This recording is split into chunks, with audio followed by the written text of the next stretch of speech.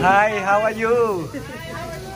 Cái quán này người ta cũng biết mình đó cả nhà Cho nên mỗi lần mình à, tới đây người ta vui lắm Hola amiga, ¿cómo está? Hola, Bien, muy bien. Oh, the guy cooking, oh Hi, how are you? I'm good, doing good Today I'm coming eat taco, okay? You guys have taco for me? Okay, cool This is the best taco in here cả nhà. This one they call, the restaurant they call the uh, Michoacan, right? The Michoacan. Yeah. Okay, now I'm going table and then eat it, okay? Hello, xin chào mọi người. Hôm nay uh, mình đi ăn sáng mọi người ơi. Mình đi ăn món uh, Mexico Ăn cái món này lâu lâu mình à, thường thường hay ghé lại đây ăn nè Cái tiệm này mình cũng rất là yêu thích. À. Tiệm này à, có cái tên gọi là Michoacan Các bạn Michoacan để mình à, view sơ cho mấy bạn thấy cái à, khung cảnh à, sinh hoạt ở đây nha.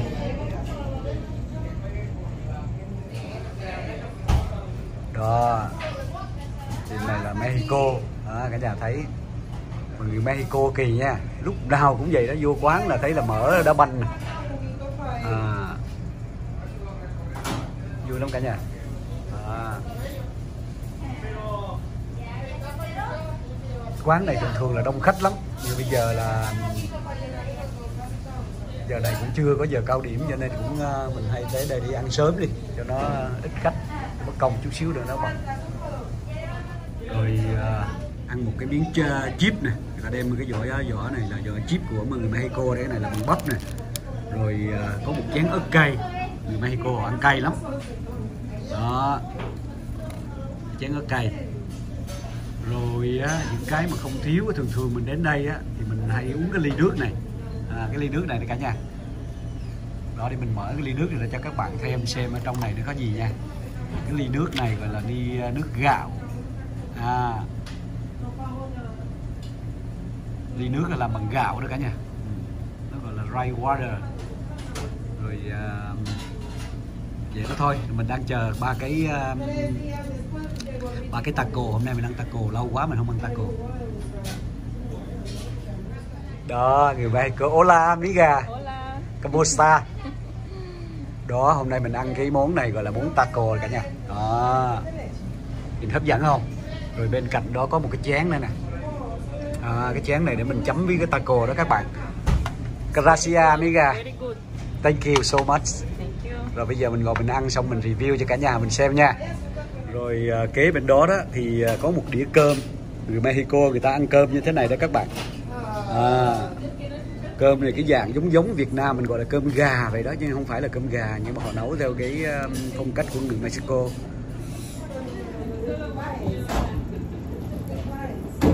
đúng ra hôm nay mình không có ờ, review cũng ờ, video, nhưng mà à, lâu quá cả nhà mình ờ, cũng chưa thấy mình ăn cái muốn ăn Mexico.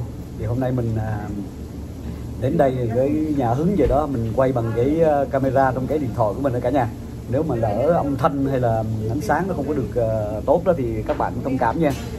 Và bây giờ xin mời đại gia đình của mình cùng vào bàn thưởng thức cái món taco với ờ, Bình Huỳnh nha.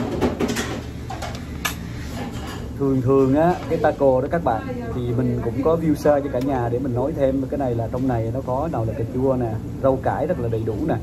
Nhưng á, mà người ờ, Mexico á, người ta ăn ờ, hành tây cũng nhiều. Lắm cho nên cái thức ăn gì cũng vậy các bạn đều có hành tây trong đó hành tây và ớt. Rồi thịt á thịt bò thì họ bầm nhuyễn ra bầm nhuyễn ra rồi à, người ta cái kiểu giống như là xào với một cái cái dĩ nóng vậy đó các bạn.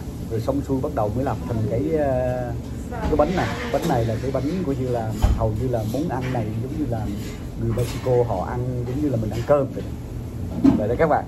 Thôi ờ, mình ờ, sẽ thử trước nha.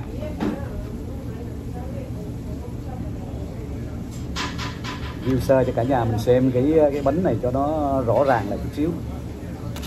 Đó, cả nhà mình thấy không? Cái bánh nhìn hấp dẫn không? Ở trong là có thịt bằm nè ở cà chua rau cải người ta rải ở trên. Rồi các bạn thấy cái cái mà miếng mà sắc mà dung dung dung dung đó cả nhà. Đó là hành tây đó. Nhưng mà cộng thêm nữa nha người Mexico người ta ăn cay nè rồi người ta ăn chua nữa các bạn ơi.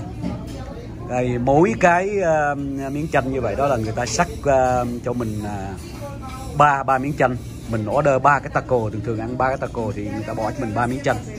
Đó vậy đó. Rồi ờ, hai loại chấm khác nhau. Này là cái này chấm để ăn chip nè. Rồi cái này để mình uh, cái nước sốt này là cay nè. Mình uh, ăn với taco. Đó vậy đó cả nhà. Đó cái hình thức mà ăn cái uh, taco rồi đó các bạn. Thì mình uh, có miếng chanh về đó mình uh,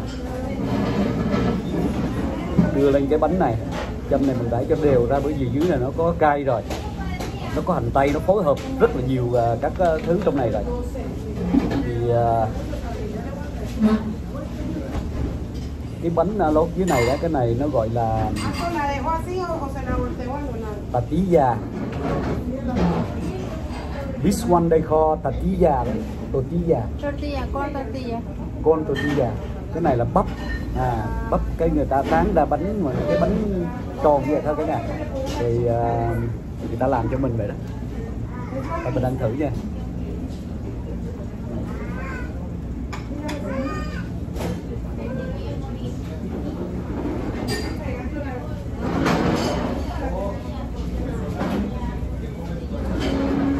Lâu lâu trong vòng một vài tuần đó mình ghé đây mình ăn một lần à. Mà cái tiệm này mình thích thích ăn cái tiệm này lắm. Ừ. tiệm này à, có cái tên gọi là Michoacán. Họ lấy cái tên Michoacán này đó là cái tên này là cái thành phố của bên Mexico. Rồi à, người Mexico người ta mới đi qua đây à, lập nghiệp ở đây đó. Thì người ta mang theo cái cái thành phố này để lấy cái tên để gợi nhớ. Cũng như mình là thường thường mấy quán ăn gọi là Nha Trang hay là Đồng Nai rồi Tiền Giang rồi vậy đó cả nhà.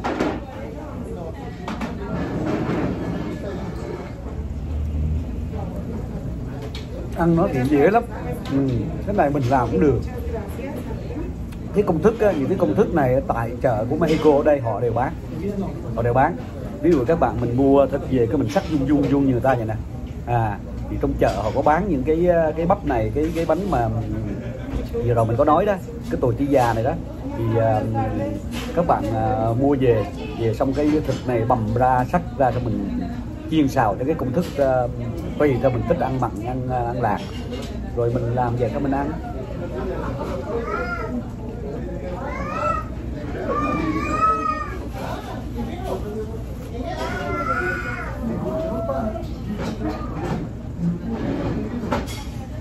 Cái này á mình ăn á cái bánh này mình phối hợp với lại um, cái cái cái nước gạo này đó cả nhà thì nó tăng lên cái sự hương phấn cho mình. Ừ, nó nó nó nó làm cho mình cái thức ăn mình ăn mình cảm thấy mình à, mình hứng thú lắm kìa. Mình ăn xong một cái là mình muốn mình ăn nữa. Các bạn các bạn? Nó không có ngán mà mình ăn nó no thôi. Giờ mình ăn xong cái thứ nhất rồi bây giờ mình ăn cái thứ hai nè. Cứ mỗi cái giờ người ta cắt cho mình miếng chân bự không? Như mà mình đó thì à, mình à, ăn chanh đó mình không có mình ăn ít chanh chua cho nên mình tùy theo khẩu vị của mình. Mình cũng ăn nhưng mà chút xíu thôi cả nhà. À, xíu vậy thôi chứ mình không có dám nặng hết tới chanh cái miếng chanh này. Nó có cái vị chua thôi. Dễ ăn để mình đưa cái cái cái, cái, thức ăn mình uh, cho nó dễ vậy đó.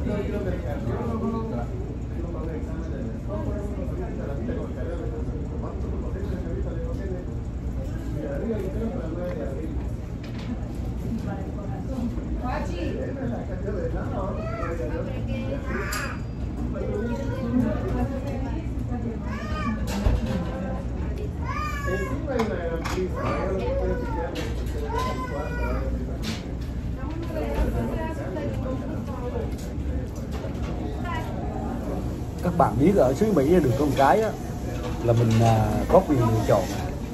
Có quyền lựa chọn có nghĩa là sao? Thường thường mình hay thay đổi thức ăn liên tục. Ví dụ như bà xã nhà nấu thì mình à, thường thường ăn với những món ăn của bà xã nhiều hơn.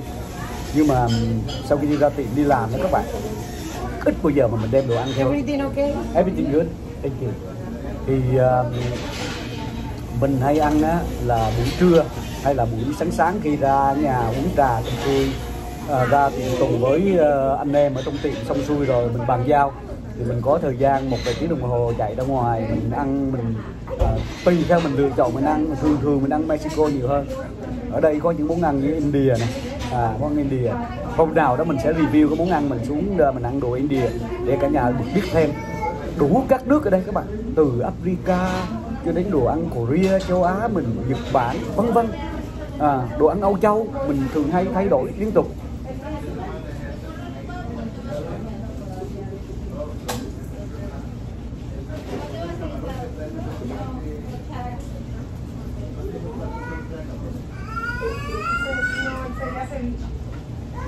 nhưng mà ăn cái gì ăn không bằng đồ ăn Việt Nam. Đồ ăn Việt Nam là nó thấm trong máu trong người mình. Chỉ ăn cho nó vui thôi, chứ còn đồ Việt Nam là chính. Mỹ, Pháp, Tây, Tàu gì mình ăn chơi cho vui thôi. Chứ còn lặp đi lặp lại không nổi cả nha. Mà đồ Việt Nam thì mình ăn mỗi ngày thì sao?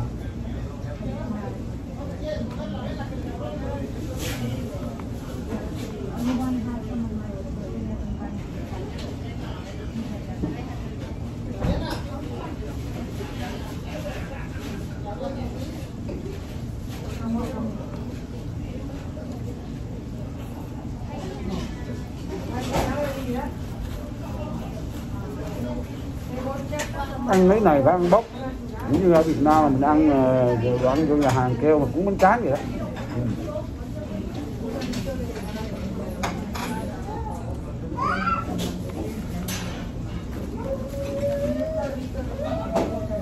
Mà các bạn biết đó, ăn những cái bún ăn Mexico này nè, nó đo lâu lắm đo cả ngày luôn.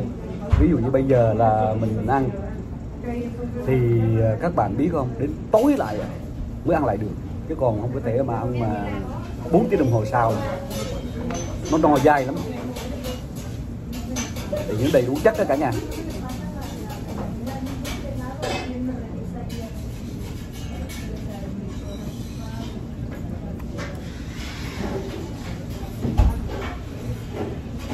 rồi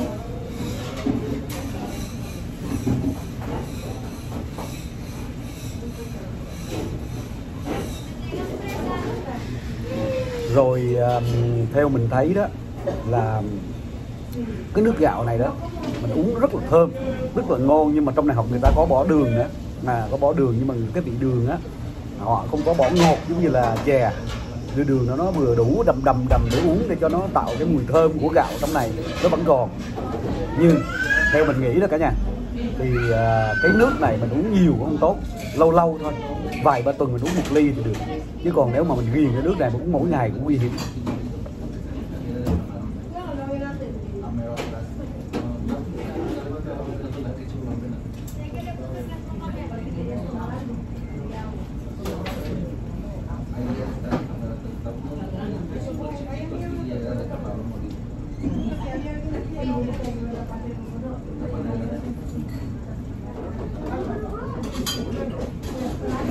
ăn mà được ba cái bánh này rồi đó là cũng thuộc về dạng mà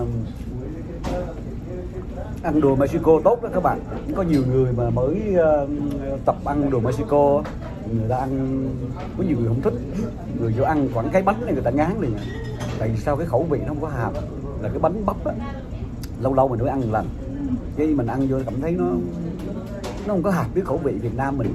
Nhưng mà mình thỉnh thoảng lâu lâu mình ăn á thì mình lại nhớ cái mùi bắp mình cái bánh này ăn cái taco này là phải ăn cái cái cái, cái bánh bắp này. Mà nếu mà ăn taco mà không có cái bánh bắp này không ăn được.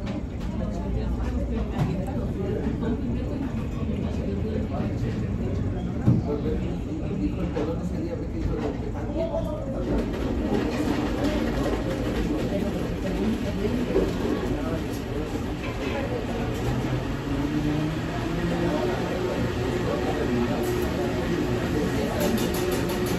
bây giờ mình thử cái cơm này nha cả nhà.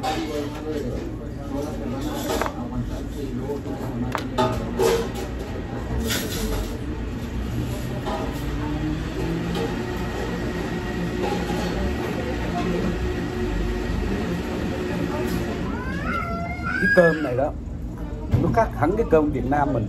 Nó giống cơm gà. Người ta nấu nó khô.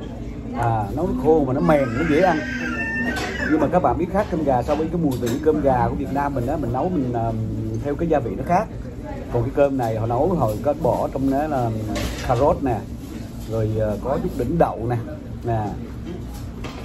Mình không biết người ta nấu bằng cái nước sốt gì mà nó sẽ ra cái gạo màu vàng như thế này. Cái này chắc để mình hỏi lại hỏi lại người Mexico họ làm sao cái cái cái cơm nó ra nó hay. Nhưng mà ăn cũng ngon lắm các bạn.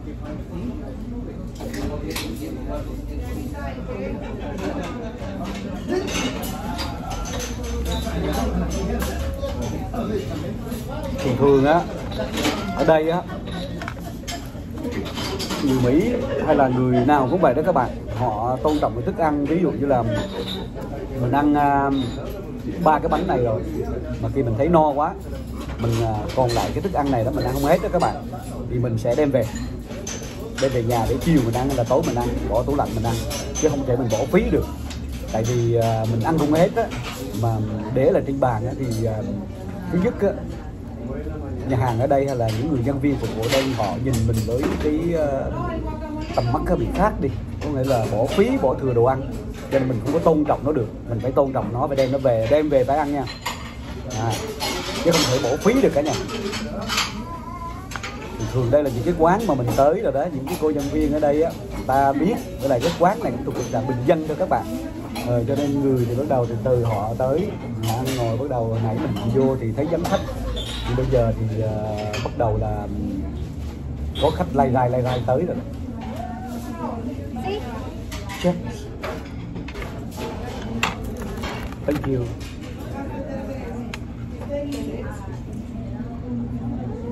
Khách bây giờ bắt đầu là lai rai lai rai. Nãy giờ mình ngồi bên này thì chưa có người mà hiện tại bây giờ cũng người ngồi đây nè à vậy đó các bạn. Người Mexico thì họ phục vụ cũng hoa thank you. Để coi phần ăn hôm nay mình ăn uh, hết bao nhiêu tiền nha cả nhà.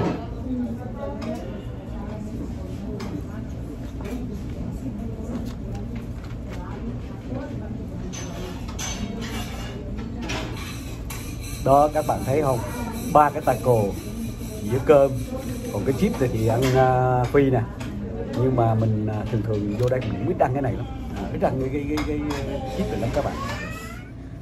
Đó cái uh, bữa ăn này thì uh, tổng cộng là 11 đồng 84 xu các bạn. Thì uh, mình uh, đây là cái tiền ăn của mình. Còn cái tiền tiếp là khác nữa cả nhà. Tiền tiếp thì tùy theo những người khách hào phóng hay là tùy theo thôi.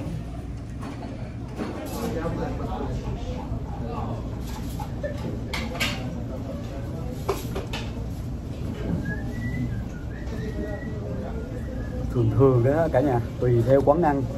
Có nhiều quán thì à, mình đi à, đến quầy để mình tính tiền. Còn có nhiều quán thì à, nhân viên phục vụ họ đem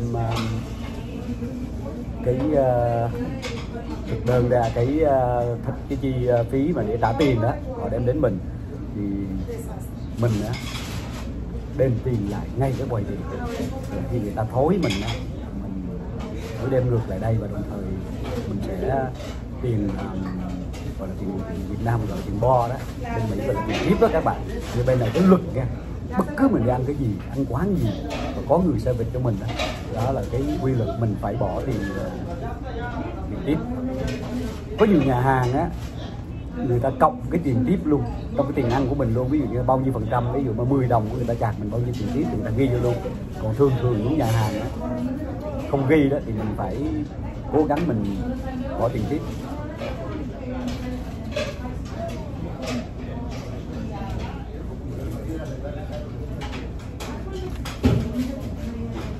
Vậy đó cả nhà kênh uh, à, youtube của bình huỳnh uh, chia sẻ đến uh, với uh, đại gia đình của mình um, trong um, những cuốn video mỗi ngày à, trước khi uh, bình huỳnh xin uh, tạm biệt cuốn uh, video ở đây cho Bình Huỳnh gửi lời uh, cầu chúc đến tất cả mọi người, uh, tất cả các bạn như là cô chú anh chị trong kênh uh, YouTube của Bình Huỳnh một ngày mới thật là vui vẻ hạnh phúc.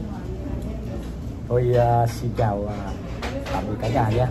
Hẹn uh, qua cuốn à, video ngày mai các bạn. vui cả nhà ăn xong bữa trưa rồi uh, gặp gỡ mấy cái người Mexico ở đây thank you họ uh, phục vụ vui rất tốt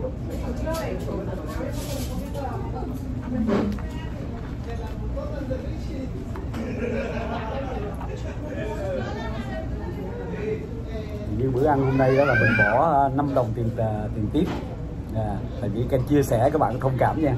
Mình ăn 11 đồng mình bỏ 5 đồng tiền tiếp bởi vì nhân viên à, tất cả họ phục vụ đó các bạn.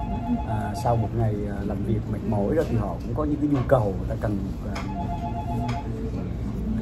tiền service đó các bạn tiền, tiếp đó cho nó vui mình cũng hy vọng được mọi người mà đều đều đều như vậy đó. Thì nhân viên họ làm việc một ngày, phấn khởi sau ngày làm việc, rồi họ có được cái tiền tiếp đem về gia đình thì cũng vui lắm cả nhà.